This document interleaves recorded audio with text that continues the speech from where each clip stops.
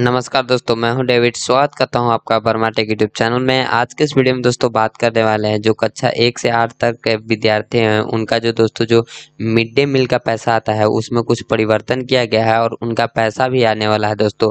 तो इसी के बारे में हम आप लोगों को कंप्लीट जानकारी देंगे कि अब जो क्या परिवर्तन किया गया है, जो आप लोग को पहले से पेमेंट मिलता था, उसमें कुछ परिवर्तन किया गया है और कौन कौन से महीने का इस बार जो आप लोगों का मिड डे मील का पैसा मिलने वाला है, इसी के बारे में दोस्तों हम आप आप लोग को कंप्लीट जानकारी देंगे। तो दोस्तों, अगर आप इसी तरह का वीडियो चाहते हैं तो आप हमारे चैनल को सब्सक्राइब करके बेल आइकन ज़रूर दबा दें। चलिए दोस्तों, वीडियो को शुरू करते हैं। तो दोस्तों, यहाँ पे आप लोग देख सकते हैं एक पेपर का कटिंग है, जिसके माध्यम से यहाँ पे दोस्तों बताया गया है कि मिड डे मील की राशि का परिवर्तित दर से भुगतान का निर्देश। मतलब दोस्तों, बताया गया है कि जो मिड डे मील का पहले से राशि मिलता था, उसमें कुछ परिवर्तन किया गया है। तो इसी के बारे में दोस्तों, यहाँ पे कुछ निर्देश जारी किया गया है। और यहाँ पे दोस्तों देख सकते हैं कि भुगतान का भी निर्देश है मतलब कि आप लोग का पैसा भी मिलने वाला है। तो दोस्तों चलिए पूरा पढ़ लेते हैं कि क्या है पूरी जानकारी। तो यहाँ पे दोस्तों आप लोग देख सकते हैं, लिखा हुआ आ रहा है, राज्य के सरकारी विद्यालयों में कक्षा एक से आठ के बच्चों को मिड डे मील के परिवर्तित मूल्य की दर से राशि मिलेगी। यहाँ पे दोस्तों बताया गया कि परिवर्तित मूल्य की दर से राशि आप लोग को मिलेगी। तो दोस्तों जो कक्षा एक से आठ तक के स्टूडेंट हैं, उन्हीं को सिर्फ़ पैसा मिलेगा।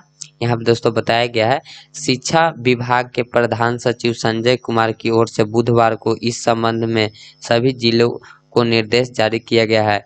मतलब दोस्तों जो शिक्षा जो यहाँ पे शिक्षा विभाग के प्रधान सचिव है, उनके द्वारा एक नोटिस जारी किया गया है जो कि सभी जितने भी यहाँ पे दोस्तों देख सकते हैं, ज़िले हैं, उन सभी जिलों को निर्देश जारी कर दिया गया है। निर्देश के मुताबिक कोरोना के संक्रमण से बचाव के चलते विद्यालय बंद रहने की स्थिति में बच्चों का खाद्यान्न और खान पकान की लागत की राशि परिवर्तित मूल्य उनके बैंक खाते में भेजने को कहा गया है। यहाँ पे दोस्तों बताया गया है कि जो भी पैसा होगा, उनका जो बैंक अकाउंट होगा, बच्चों का उसमें भेजा जाएगा। बच्चों को फरवरी और मार्च की राशि मिलेगी। यहाँ पे दोस्तों जो बच्चों का पैसा है, वो बच्चों को फरवरी और मार्च की राशि मिलेगी। यहाँ पे दोस्तों कंफर्म बताया गया है कि जितने भी बच्चे हैं, उनका जो फरवरी और मार्च का जो भी पैसा होगा मतलब परिवर्तित दर के अनुसार जितना भी खाद्यान्न, मिड डे मील का पैसा उनका होगा, उनको बैंक खाते में डाल दिया जाएगा।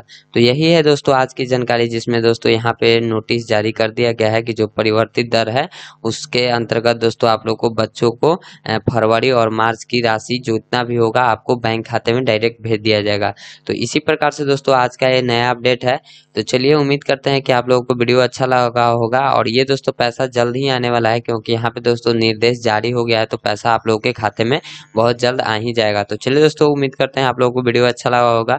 अगर वीडियो अच्छा लगा होगा तो दूसरे लोगों के साथ वीडियो को ज़रूर शेयर करें ताकि उनको भी इस प्रकार की जानकारी मिल चलिए मिलते हैं अगले नेक्स्ट वीडियो में। तब तक ले जय हिंद, जय भारत।